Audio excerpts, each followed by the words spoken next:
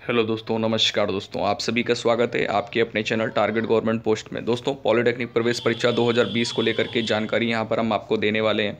तो new updates पाने के लिए नीचे रेड कलर की सब्सक्राइब बटन दबा करके आप लोग जोड़ सकते हैं। बगल में दी गई बेल आइकन को प्रेस करने से सारे लेटेस्ट अपडेट और नोटिफिकेशन आपको समय से मिलते रहेंगे।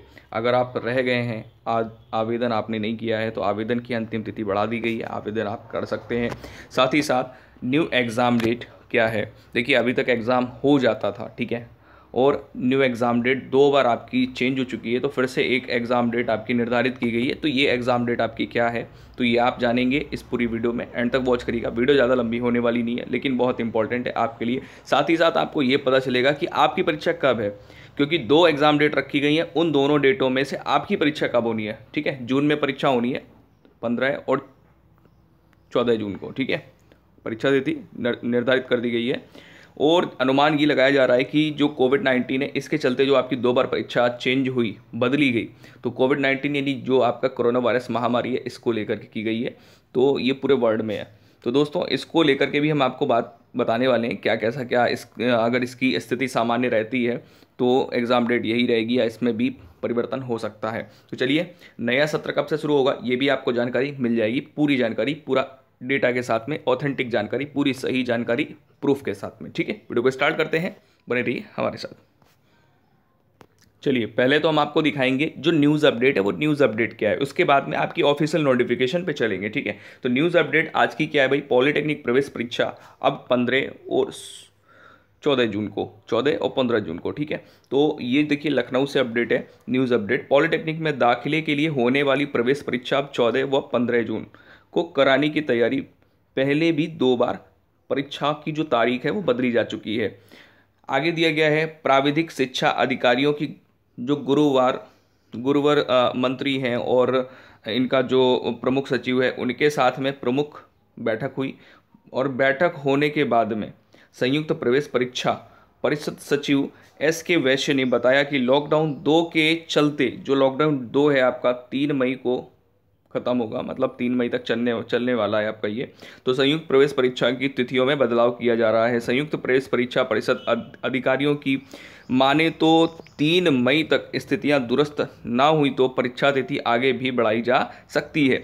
अब आगे आपके लिए बहुत इंपॉर्टेंट बात है। परिषद अधिकारियों ने कहा है कि इस बार प्रवेश परीक्षा का कार्यक्रम 15 सितंबर जा सकता है। दोस्तों, ये 15 सितंबर जाने का मतलब ये है कि जो आपका नया सत्र है, ये 15 सितंबर तक शुरू हो सकता है, ठीक है?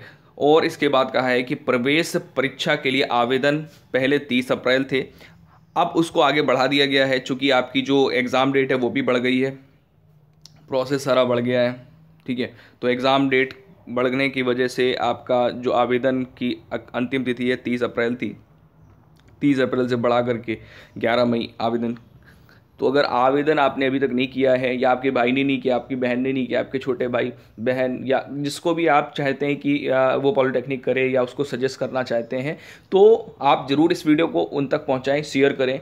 हमें तो अब हम आपको दिखाने वाले हैं, ऑफिशियल नोटिफिकेशन क्या है? ऑफिशियल नोटिफिकेशन में जो आपकी एग्ज़ाम डेट है, वो जो ग्रुप वाइज है, आपकी परीक्षा कब और कब होने वाली और समय क्या रहने वाला है, ठीक है?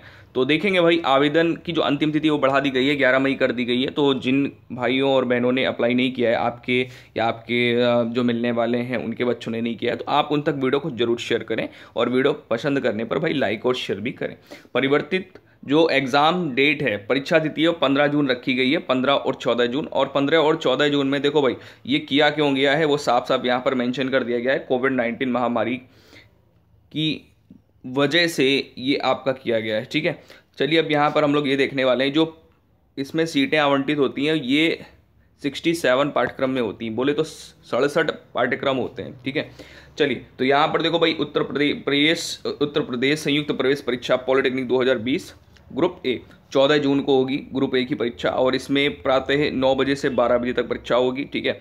और इसमें समस्त समस्त जनपद जो लिए गए हैं मतलब कहाँ कहाँ पर परीक्षाएँ होंगी, जो एग्ज़ाम सेंटर है, वो कहाँ कहाँ बनाए जाएँगे, उनकी भी जानकारी मैं आगे दूँगा आपको।